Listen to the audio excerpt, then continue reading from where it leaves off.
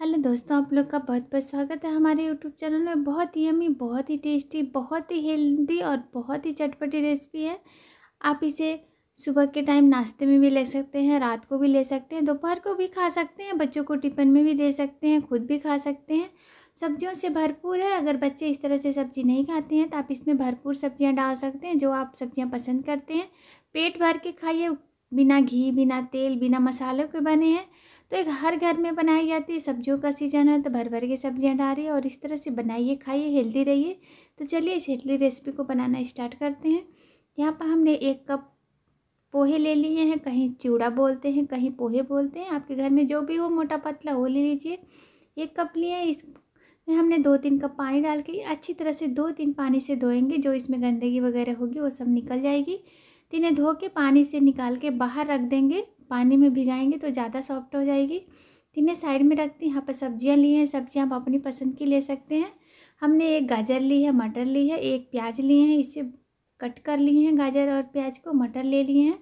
आप यहाँ पर और भी सब्ज़ियाँ, शिमले मिर्च, बीन्स वगैरह ले सकती हैं। तो सब्ज़ियाँ भी कट करके रेडी हो गए चलते हैं गैस की तरफ़। तो एक कढ़ाई में दो चम्मच तेल थोड़ी सी जीरा और हरी मिर्च डाल दिए हैं। उसमें कटे हुए प्याज को डाल देंगे। गाजर डाल देंगे, मटर डाल देंगे।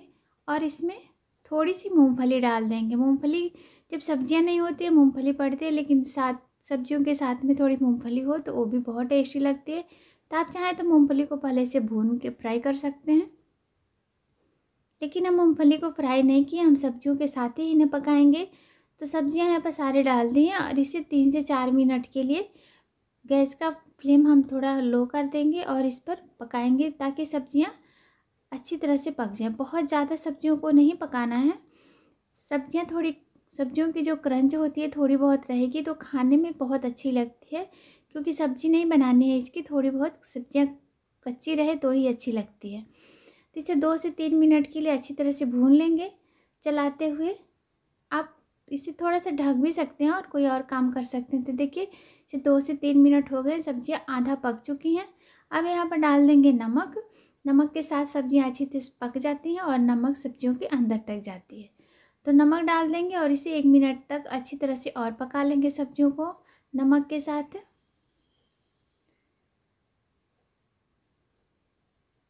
तो यहाँ पर सब्ज़ियाँ पक चुकी हैं। हम डालेंगे मसाले तो थोड़ी सी हल्दी डालेंगे, थोड़ी लाल मिर्च डालेंगे, हरी मिर्च पहले भी डाले थे और थोड़ी सी चाट मसाला डालेंगे। आप यहाँ पर नींबू का रस वगैरह डाल सकते हैं, लेकिन सर्दियों का मौसम है, नींबू रस से थोड़ी गला ख़राब हो जाती है, यहाँ पर हम नींबू यूज़ नहीं कर रहे हैं। मसाले डालने के बाद अच्छी तरह से भून लेंगे एक मिनट तक और सब्ज़ियाँ, बस बस सब्जियों के पकाने में ही टाइम लगती है, बाकी तो ये बहुत जल्दी बन जाती है, दो से तीन मिनट के अंदर बन जाती है रेसिपी। सर्दियों का मौसम है, ऐसी चीज़ें सुबह को नाश्ते में मिल जाए या रात को मिल जाए तो बहुत ही अच्छी लगती है खाने में भी, क्योंकि सब्ज़ी इतनी सारी पड़ी है और गर्मा गर्म खाने में तो उसका ही कोई जवाब नहीं है।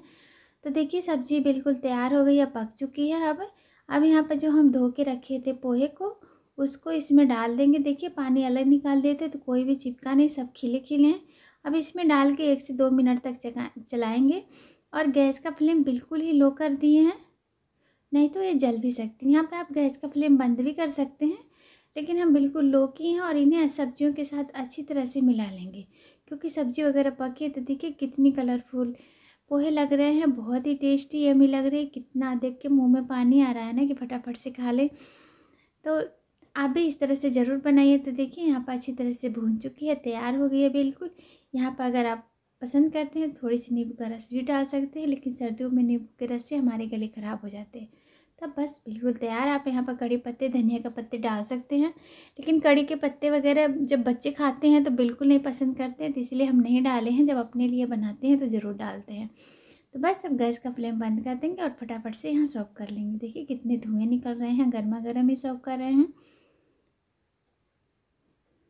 तो हमने यहाँ पर सर्व कर ली हैं। ऊपर से आप जो आप सब्ज़ियाँ पसंद करते हैं, खीर डाल सकते हैं, प्याज डाल सकते हैं। लेकिन भुजिया डाल सकते हैं, जो मूंगफली के दाने वगैरह, जो भी आपको पसंद हो आप डाल दीजिए। हमने बस थोड़ी सी प्याज डाली है, जो बच्चे खाते हैं उसी हिसाब से बनाते हैं, जो आपके घर में बच्चे खाएँ, बड़े खाएँ, उसी हिसाब से बनाइए। तो यहाँ पर हमने थोड़ी सी प्याज डाल दी है बस, और सर्व कर दी है गर्मा गर्म यहाँ पर गुड़ के, गुड़ की चाय बनाई थी, उसके साथ तो बहुत ही अमी लग रही क्योंकि सर्दियाँ बहुत हैं, चाय तो सबको चाहिए था। तो पोहे और चाय क्या बात है सर्दियों में?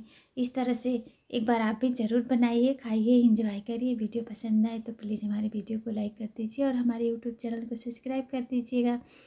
फिर मिलेंगे किसी नेक्स्ट वीडियो में और आपको टेस्ट भी करा रहे हैं। आप भी बताइए कि हमारे जो ये चटपटे पोहे बने हैं, बहुत कम तेल मसालों से वो आपको कैसी लगी?